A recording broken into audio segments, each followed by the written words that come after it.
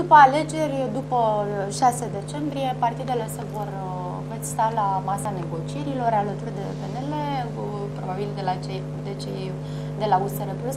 Dar ce veți face în situația în care cei de la USR Plus uh, repetă situația de la locale, acolo unde am văzut că după alegeri au refuzat orice alianță cu Partidul Mișcarea Populară. Cum veți gestiona această Nu situație? există un asemenea scenariu dintr-un simplu motiv.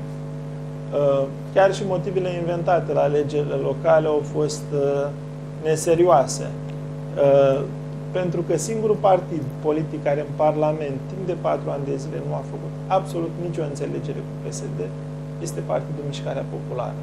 USR a avut înțelegeri cu PSD?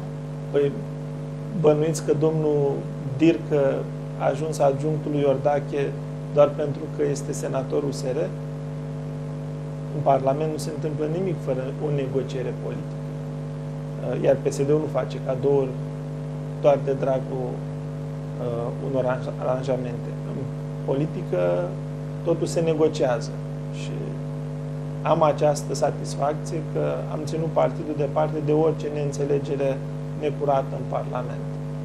Am văzut, uh, cel puțin la, nivel, uh, la nivelul declarațiilor publice, săgeți aruncate, ba de la USR către PMP, ba de la PMP către USR, uh, acuzații și de Sublinez o încă o dată. PMP este singurul partid care nu a făcut niciun fel de înțelegeri cu PSD-ul timp de patru ani de zile. PNL a avut înțelegeri cu PSD-ul?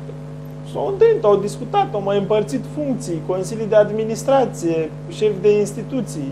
Unul a luat PNL, unul PSD, deci au existat înțelegeri între aceste partide în Parlament. Noi nu am participat la niciun fel de târg cu PSD-ul, nici când ne-au cerut să le susținem guvernul, nici când uh, mi-au cerut să susținem moțiunea împotriva PNL, am fost un partid care a rămas consecvent liniei politice pe care și-a asumat-o din momentul în care s-a creat.